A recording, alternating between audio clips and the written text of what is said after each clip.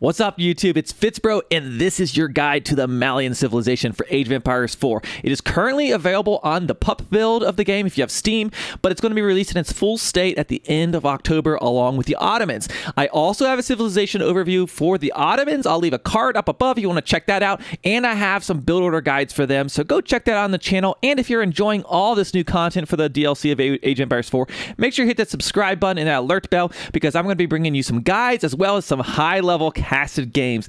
Let's get into it. Let's break down all the unique mechanics of the civilization so you know how to either play as them or against them out on the battlefield. So, first of all, I picked the new biome here. It doesn't look beautiful. I think it's the Sahara or something. Yeah, it's uh, it's it's like the Sahara biome. Anyways, uh, some interesting things about them. They have this building called the Pit Mine. Now, this Pit Mine, it is kind of like an Ovoo, but it goes on gold. It costs 150 wood, and you build that on a gold vein. So I'm going to walk over here to my gold and start to building that. And you can build one of these per age. So it increases the, the build cap every time you age up. So you can get a total of four of them if you reach the fourth age. And it will start generating gold, but it does not deplete the deposit. So while villagers they take gold out of the uh, out of the, the the ground and it is depleted, this mine will gather gold. You see right now five per minute, but this vein will never lose gold. So even when this runs down to zero, it'll still keep gathering. So that's a kind of a unique thing about them. And you can boost the rates of which it gathers by building houses and mining camps around this aura. So you can kind of see that orange aura around the building right now. So, uh, how it works is it gives 30 gold per minute without depleting. Deposit's been depleted. It, will you could still be replaced on exhausted gold veins, so no worry about that. The gold extraction rate of open pit mines is increased by 25% for each house or mining camp built within the influence. And speaking of houses, they have half price houses, 25 wood. They have half the population as well. So you got to constantly be building some houses. But what you want to do is build these around your mining camp like this. And it also will give a boost to uh, if you build a mining camp there, that'll also provide a boost. So watch this. Uh, this this rate will go up as soon as that house completes, and you see that happening right now. Now it takes some time for it to catch up with the uh, the gold per minute but essentially, that's what's going on. You build these pit mines, so as you go through the ages, make sure you're building these these, uh, these structures. It's free gold. Passive gold income is going to be very good. Okay, let's look at a few other mechanics. They have a unique tower called the Toll Outpost. Let's put one right here. There's that Toll Outpost. And it's just like a, a, normal outpost. It doesn't have any additional stats like a wooden fortress might. But what it does, it can uh, it can be upgraded. It, it I'm sorry. It passing traders and trade sh ships instantly provide an additional 10% of the carried gold. So if I have a trader and it walks within this aura, it's going to get a boost. So almost like you'd build your towers as the Mongols with like a YAM network boost, you want to build these along your trade routes. It's going to give a boost. I believe you can do this boost up to five times. So you can't stack like 30 towers and have ridiculous gold. But even with that, the gold you get from that is crazy. And let's uh, let's build their mill so you can see what that looks like. I'll put that right here. And uh, while that mill is being built, uh, being built, there's nothing else really unique in this first stage. Well, I guess we could talk about the scout. Uh, the scout costs a little bit more. It costs 90 food because it can be upgraded to be a warrior scout in the next age. So you'll see their stable here in a bit. Uh, they're able to upgrade these scouts, which basically, basically, if you invest in those early scouts early in the dark age, when you hit the next age, you have a stable, you upgrade them. Suddenly, the scouts can be quite good out on the battlefield. Okay, their mill looks very different. Look at that. No rotating parts or anything like that. One th unique thing you do at the mill is you can buy cattle. Now, these cattle, no other civilization can do this. They cost 100 gold, and you're going to have a passive gold income because of all the pit mines you're going to have going on. So you should have typically be floating a good amount of gold. And what you want to do is you train these and you put them in the cattle ranch. But we'll have to get that in the next age. So we'll I'll show you that in just a moment. But you can also eat the, the cow if you want to. You can spin the gold. You can eat the cow. You gather at the same rate as a boar. So that's very good. I've talked to uh, the Mista and he says that, he, that sometimes he'll eat a cow in order to boost himself to the castle age. And then maybe from there do a cow boom. And we'll talk more about the Muvu here in just a second. Okay, let's uh, let's go to the next age. But before we do that, let's look at your age up options. You've got the Saharan Trade Network or the Mansa Quarry. Now, the first one acts a toll outpost that comes with defensive arrows. This tech already researched. So, this is basically a defensive structure. It's a toll outpost, one of those towers we saw right there.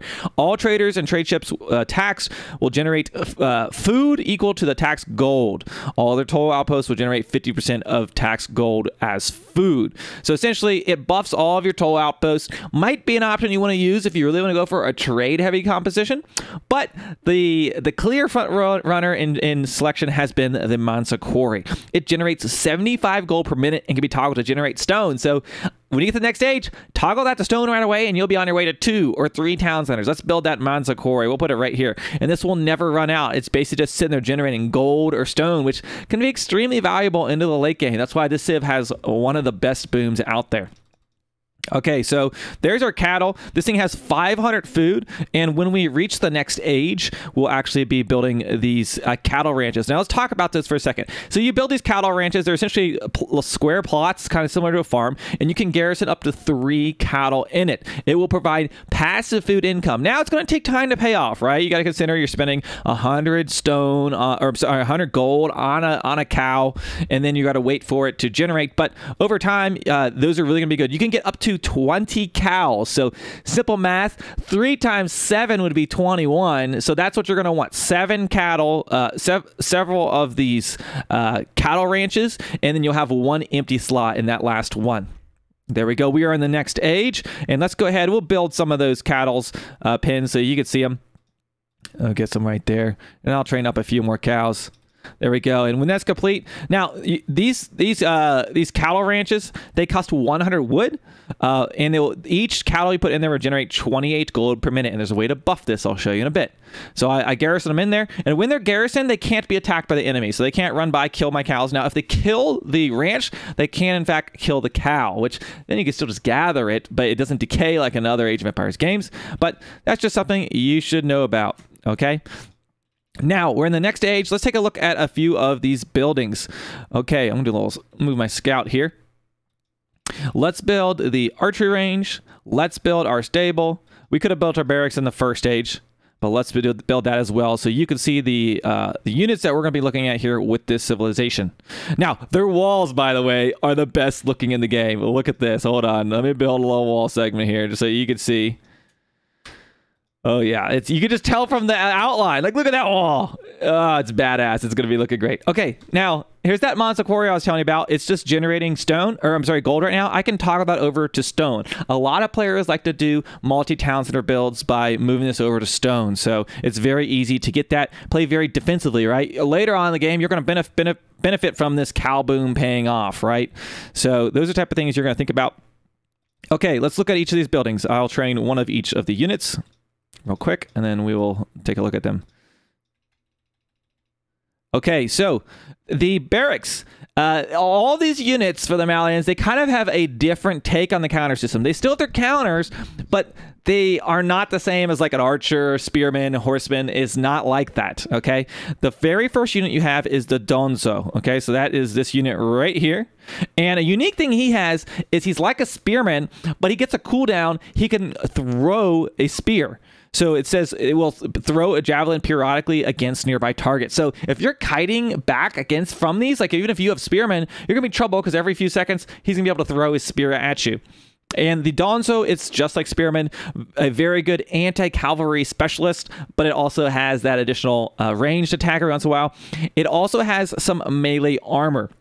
So this is kind of pretty much going to be most of the front line of your army, this, this Donso, uh, with archers on the back line. And then we have the um, the Musofadi warrior. The Musofadi warrior, it has an, stealth ability. Now, I'll activate this. It activates for 20 seconds. It can be revealed by scouts, outposts, or if they engage in combat. But look at this. Okay, that that says he's invisible. I honestly, or, or I think it's she technically.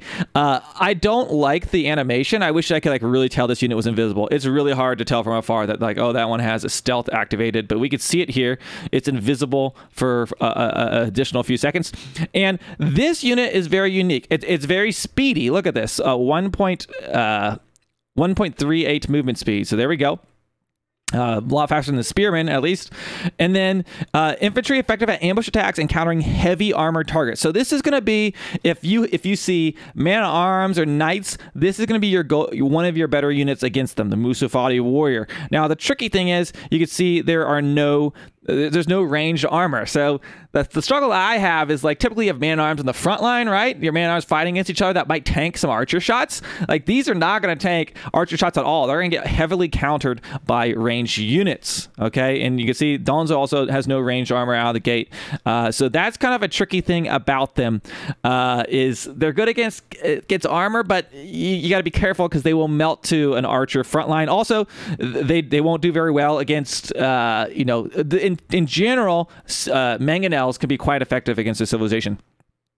Okay, uh, so yeah, they're good against countering armored units, anti-armor specialists, essentially. Low health countered by archer. So good for like a hit and run or a stealth raid attack on some villagers or something like that, because they are very speedy.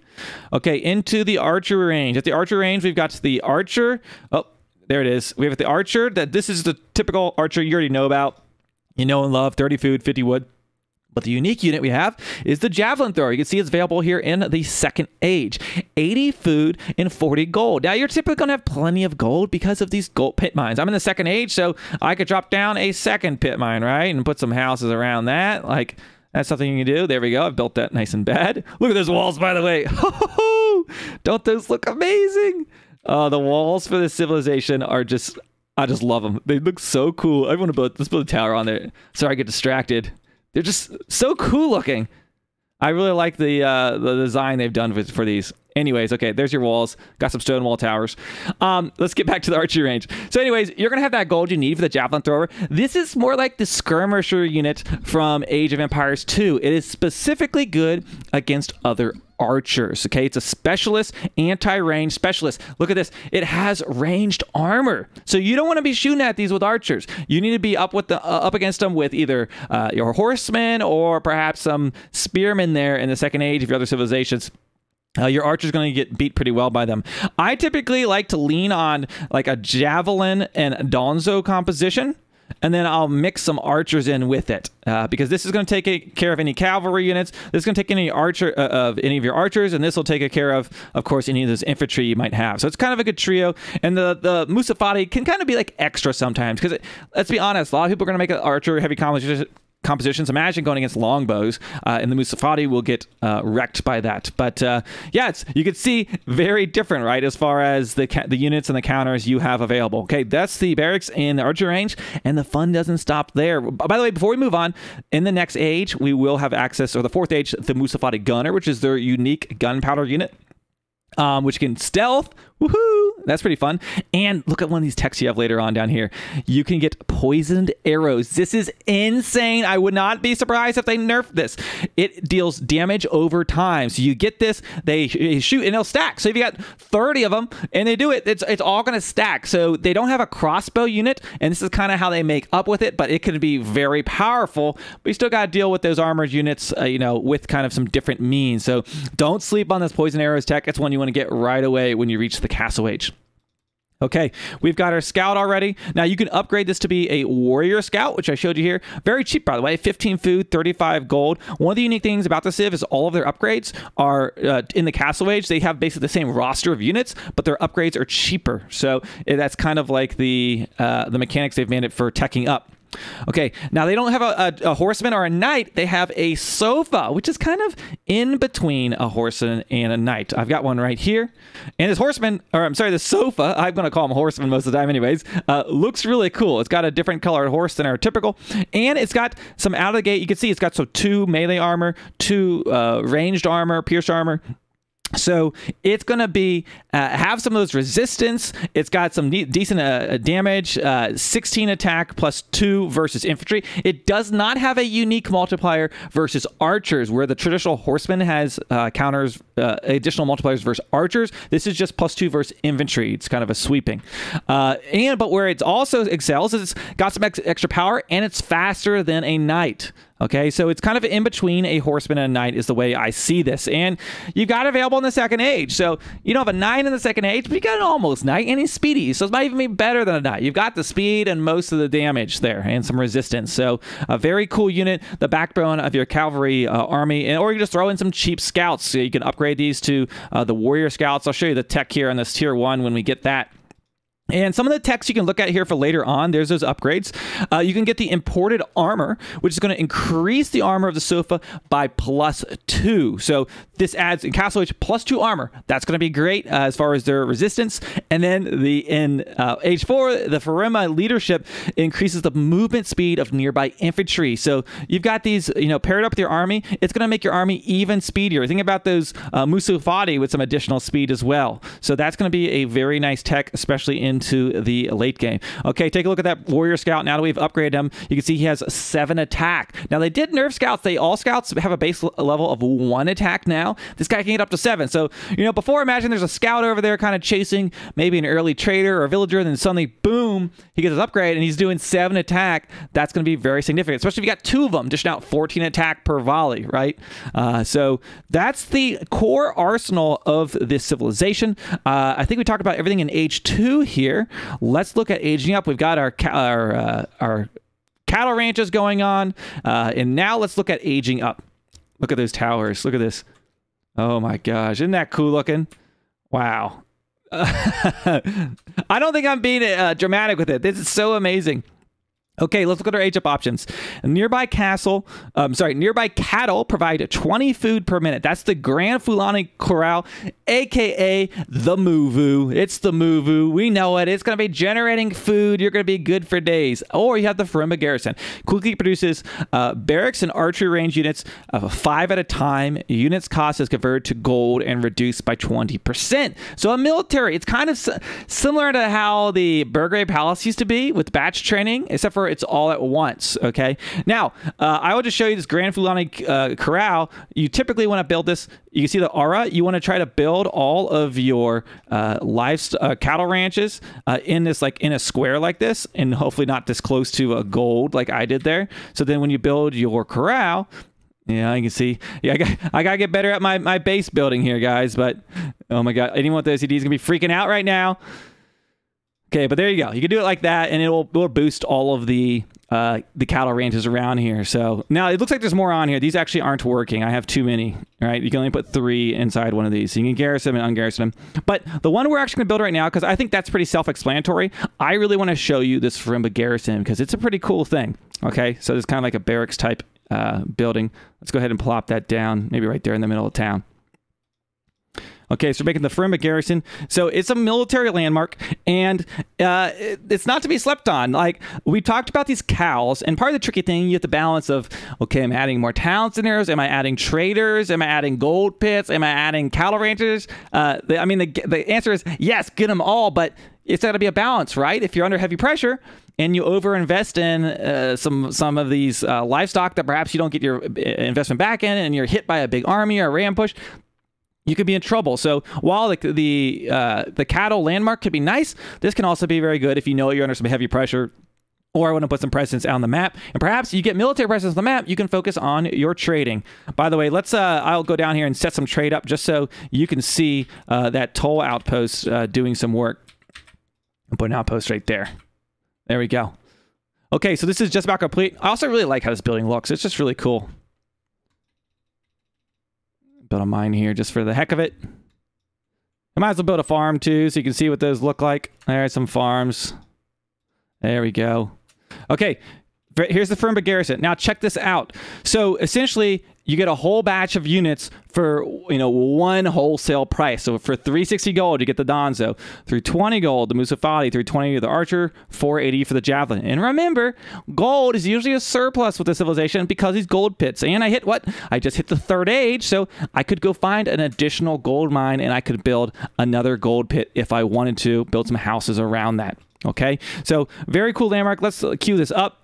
It'll take 22 seconds to train those. I mean, that's compared to spending what 15 seconds for a single Donso. In 22 seconds, I'm going to get uh, a whole batch of five Donso. Okay, so here they come. They're going to be jumping out. Let's get those uh, upgrades in queue there. Might as well. We'll get the poison arrows and everything. That's a really cool tech. Okay, upgrading those units. There we go. We got our, our group of Donso. So this could be really used. Uh, perhaps you've gone for like an an archer and cav composition or whatever composition it might be. Uh, a uh, and then suddenly hit the third age, you want to add in a different unit. And it's like boom, you can get out a whole batch of five of them. So pretty cool as far as that's concerned. Uh, again, you could keep training cattle. Nothing really new there, uh, tech wise. Uh, let's see, do we finish our market? We did. So let's go ahead and do some trading so you can see what that looks like when they go past that toll outpost. I could build a few of them too. We'll build one here too. There we go. Now, let's build a siege workshop just so you can see. Uh, they have the, the standard roster of uh, siege units. I kind of wish they had given them something unique. We've got the Great Bombard, of course, with the uh, with the Ottomans, but they just gave them kind of the same siege as all the other European civilizations. It's only the only point I would say could have been improved. It would be cool to have unique siege unit, but it is what it is. Okay, now check this out. Here comes my trader. Uh, now, oh, they haven't picked up any gold yet, so I think they have to pick it up first. This shouldn't uh, do anything yet. Yeah, so it'll be on the way back. We'll see that come out. While they're walking, uh, Siege Workshop is almost complete there. Let's build a keep here. Might, might as well see what this keep looks like. Put, put it right there in the middle of town. Their architecture looks really cool. Let's upgrade one of these to stone so you can see that. Yeah, let's do that. Okay, we're about to do our first trip. You can see that there. Taxation aura traders and trade ships that pass the toll instantly provide bonus resources based on the amount being carried. Okay, so this is going to very quickly happen. Ready? Okay, 40 gold and boom, it's got that toll. Trader has recently been taxed by a toll outpost. You see, there's a cooldown, so you can't just like go in circles and get those taxes. Uh, it's going to, uh, and it has a total of five. So you see, it says, okay, it's been taxed one time. They can be taxed a total of five times. So we will get taxed there. And I, uh, it says, it's, how much percent does it say it gets? Uh, 10%. So math majors, uh, 10% of 40. We'll see that when it gets dropped off here in just a moment. Oh, it looks like we didn't finish this gold pit. Might as well add that in. Wait, what? Oh, I just never built it. The outline was there. Okay, so bringing back that 40 go- uh, gold. So 10%, it, it, went through two of those. It got, wait, it says 40. I, is it not, is it just reflected because he's really close to this? 40. He goes through it. Oh, it, okay, I gotcha. It instantly gives the gold off when it goes past. I'm sorry, I thought it was when it reached its final destination. So when it passes these toll outposts, it'll instantly get give you some gold. So um, you have to spread them out because there is a cooldown on it. Uh, we we have seen that, so that's something you got to consider. Uh, you have to spread. You can't just like have too many taxations too close. But even in a small trade route like this, like look, we can hit what two tax zones. I think they'll get another one here. One more second. Uh, I thought they would get some more gold. Oh, is it because it was already inside the aura? I know. I'll, I'll mess around a little bit more, but you guys get the idea. They've got traders. They've got these uh, toll outposts um, that are going to uh, provide some additional boosts. Look at this keep. Wow. Amazing looking. I love it. It looks so terrifying. Now, I upgraded one of these to stone, and it doesn't. Now, I would say it is very hard to tell the difference. Okay, so this is a regular tower. This is a stone tower. Like, this one's a little darker but I don't know. It's not as extreme as like the other outpost upgrades to stone. I don't. I think that could be maybe improved. So if you see the darker looking towers, those are going to be the stone ones, I guess. But that's uh maybe could be a little bit more clear. Looking at the siege workshop, here's your regular stuff: Springald, Mangonel, counterweight trebuchet. They've got a bombard, but they do have access to the Culverin. And I gotta say, I personally prefer having a civilization with a Culverin in my arsenal versus the Great Bombard. I love a Great Bombard, but let's be honest, if you can kill everyone's siege with the Culverin, it ain't gonna matter, right? And they're they're likely gonna have a surplus of gold because of these gold pits. Uh, it is uh, well, that's not the gold pit, that's the quarry right there. But uh, yeah, I really like Culverin. I think it's a it's also what makes them very very strong. Okay, uh, the only thing we didn't look at was the the moss. Let's go ahead and build that.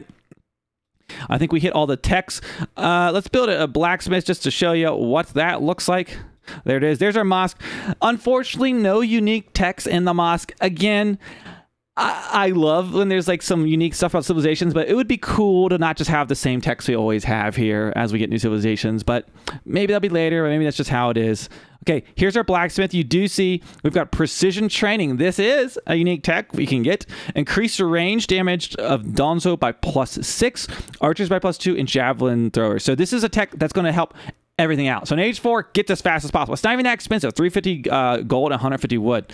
Okay, so that's the tech you're going to get when you get to the fourth age. Okay, it is time to age up. Going into our final age to the Imperial Age, we've almost looked at everything. We've got the Griot Bara begin a festival. You spend 300 gold, which you're going to have a lot of anyways, providing global enhancements to either a food rate, military production speeds, or damage of torches in siege. One festival at a time. So essentially this cooldown, you can get these buffs. I kind of think of it as like the community plaza from AoE 3 or the fire pit, whatever you want to call it. You also have the Fort of the Huntress, like a keep landmark. Acts as a keep, infan- infantry units nearby the landmark enter stealth for 10 seconds. Now, I haven't used this a ton yet, but sounds like a crazy frontline landmark. Musofadi warriors and gunners gain first strike, dealing more damage when breaking stealth. So it'll boost the stealth of your opponent of your uh, units. If you really like using these stealth mechanics or, and like uh, want to put this in an uh, offensive place, or that this could be a great option for you. But let's build this Griot Bara. It's the one I've seen used the most. It's the one I've personally been using, and let's uh, let's get this uh, built here. It's kind of cool. It's got all these these colors around it. There's our traders doing their thing. Look at all the resources we have. Nah, it's because we did infinite resources to AI. Let's build some more of those walls. Well, now I don't think I have any more villagers. I think I've there's one staying there. It's okay. So we're building this Griot Bara, and with that, I think that will be, uh, in addition to the madrasa, our final, uh, our final buildings to take a look at here with the Malians. Very, very good civilization, by the way. I've, I, I think they, they are probably stronger than the Ottomans from what I've seen early on. They can, they're just really quick, and they have so many passive generations of gold and food. I mean, you could build all these cattle ranches, and when you go to age three, you know, this is like when you want to really go for a military thing. But typically, if you're going like a, a boomer route, you do want to build that cattle landmark because that passive food is just going to be so nice. Okay, here we go. We've got a Griot Bara. Take a look at that. And you'll see a little circle show up when I activate one of these. So here's those festivals. They cost 300 gold apiece. This one will uh, increase your food gather rate for 30 seconds by 50%. Increases the military unit production speed so you can produce your units faster with this one. And increases siege and torch damage for all units by 100% for 30 seconds. Now, I kind of wish this was a kind of global icon I could just click on, you know, like somewhere on the side. I don't know. Uh, would be kind of nice. Instead, but for now, I think you almost might want to hotkey this for you uh, high level players. Okay, let's activate one of these and you'll see. activate that festival. You see, look at that. That festival's going on. Look how happy they are. And they've got a total of 30 seconds to do that. So that is going to be how that landmark works. Let's build our university and we'll place the foundation for a wonder because why not? There's our wonder being built. And we've got our madrasa coming up. And those will be our final text to take a look at. Oh, one more tech we did miss at the town center. You can get the Banco repairs. Buildings are repaired 100% faster. This is available at the beginning of the game. So if you're repairing walls or towers or town centers or keeps, whatever it might, this is a great tech to get. You can boost that repair speed. So uh, pretty cool. And there's that university. Uh, the same old stuff you're used to seeing here. They don't have the the incendiary arrows. I think that's because they have the poison uh, poison arrows upgrade already, the archer range. So these are your options you're going to be uh, looking at, just the same as we typically would have. And then there's our great mosque being built. Now, I will do a dedicated video where I go through the naval units of all the civilizations because it has been quite an extensive naval rework. So don't worry, I haven't forgotten about it. We're going to be doing some uh, naval units next. But there you go. That's everything you need to know about the Malians. We've talked about the unique units and their counters they have here uh, at their stable archery range and barracks. We've talked about the toll outposts and its buff, buff it provides to your gold uh, for your traders the Muvu mechanics, our pit mine, and the houses and all of that jazz. So let me know. What do you think about the civilization? Are there any other questions you have? Or is there anything you want to provide more clarity on that perhaps I missed? I'm still learning about this as we go as well. I hope you enjoyed the civilization overview. I hope that you hit subscribe on the channel. Check out a few of my other videos. I've got some classic games, build order guides, and I'm always streaming over live on twitch.tv slash fitzbro where I'm experimenting civilizations all the time. Thank you so much for tuning in, and I hope to see you in the next one.